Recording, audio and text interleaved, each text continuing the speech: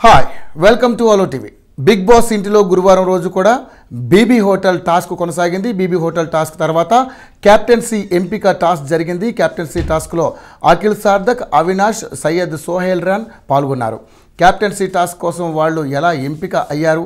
హౌస్లో ఎలాంటి పరిణామాలు చోటు చేసుకున్నాయి అనేది ఇప్పుడు మనం తెలుసుకుందాం. అభిజిత్ తన చేతిలోని స్టార్లు లాగేసుకున్నాడని హారిక పదే పదే తలుచుకుంటూ ఏడ్చింది. తర్వాత బీబీ హోటల్ టాస్క్ ముగిసిందని బిగ్ బాస్ ప్రకటించాడు. హోటల్ సిబ్బంది దగ్గర ఐదు స్టార్లు ఉన్నప్పటికీ అవి అతిథులు ఇష్టపూర్వకంగా ఇచ్చినవి కాదన్నందున అతిథులే గెలిచినట్లు వెల్లడించారు. దీంతో అభిజిత్ ప్లాన్ అంతా బూడిదల పోసిన పన్నీర్ అయింది దీనికోసం హారికతో గొడవ కూడా పెట్టుకున్నానే అని బొంగమూతి పెట్టుకున్న హారిక దగ్గరకు వెళ్ళి ఆమెను హత్తుకుని ఓదార్చాడు. ఒక్క హగ్గుతో ఆమె అలక కోపం అన్నీ పటాపంచలయ్యాయి. గెలిచిన టీం నుంచి బెస్ట్ పర్ఫార్మర్ పేరును ఏకాభిప్రాయంతో చెప్పమన్నాడు. అప్పుడు మొదలైంది అసలు ముసలం. ఎవరికి వారే తానే బెస్ట్ అని చెప్పుకున్నారు. అందరూ కలిసి ఒక్క పేరు చెప్పడానికి ముందుకు రాలేదు. దీంతో ఫ్రెండ్షిప్కు విలువిస్తే నాకు సపోర్ట్ చేయని మహబూబ్కు ఒక్క ముక్కలో తేల్చి చెప్పాడు సోహెల్.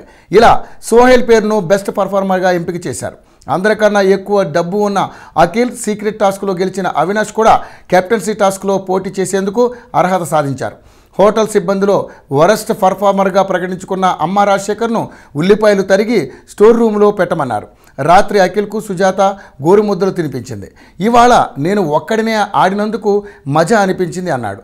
ముప్పై రెండవ రోజు బిగ్ బాస్ ఇంటి సభ్యులకు మంచు నిప్పు మధ్యలో ఓర్పు అనే ఓ క్యాప్టెన్సీ టాస్క్ ఇచ్చారు. ఈ టాస్క్కు అభిజిత్ సంచాలకుడిగా వ్యవహరించారు.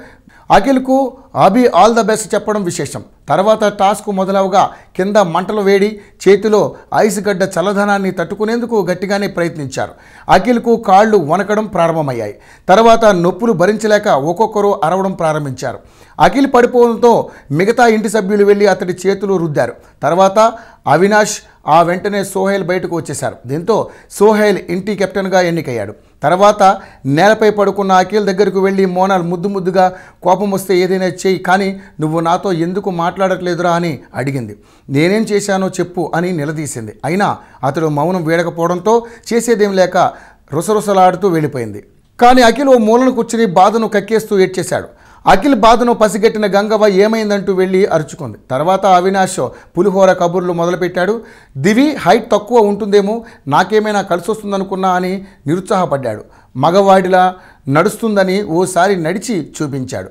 నువ్వు దివిని చూస్తున్నావని మొదటి రోజే పసిగట్టానని అరియానా అనడంతో లేదు నిన్ను చూశానంటూ డైలాగ్ కొట్టాడు. మళ్ళీ ట్రయాంగిల్ లవ్ స్టోరీ గురించి దివి అవినాష్ గుసగుసలు పెట్టుకున్నారు.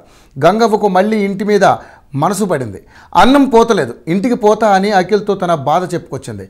కెప్టెన్గా ఎంపికైన సోహెల్ను ఇంటి సభ్యులు అభినందించారు. గత కెప్టెన్ కుమార్ సాయి నుంచి కెప్టెన్సీ బ్రాండ్ను తీసుకుని చేతికి ధరించారు.